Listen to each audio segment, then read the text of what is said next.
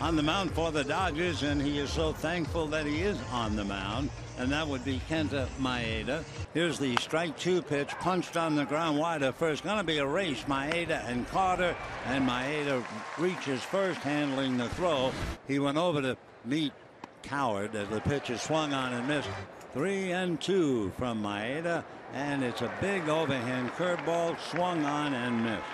Maeda ready and deals, chased and missed. It was a breaking ball down and away, a slider, and he'll high fastball, and Nieuwenhuis goes after it, comes up empty, having knocked the cover off the ball. And now he just quietly goes away. And got him. So he strikes out the side. He's made a hundred pitches. Little ground ball to Utley. So that's what he needed an easy inning. So they have to watch him.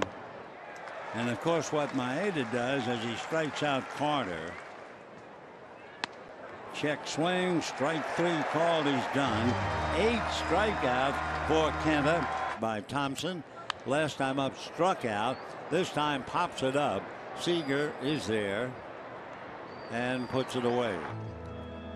Figuring I'm forced to go to that bullpen. But what Maeda did was give the Dodgers a great six and a third innings. Yep.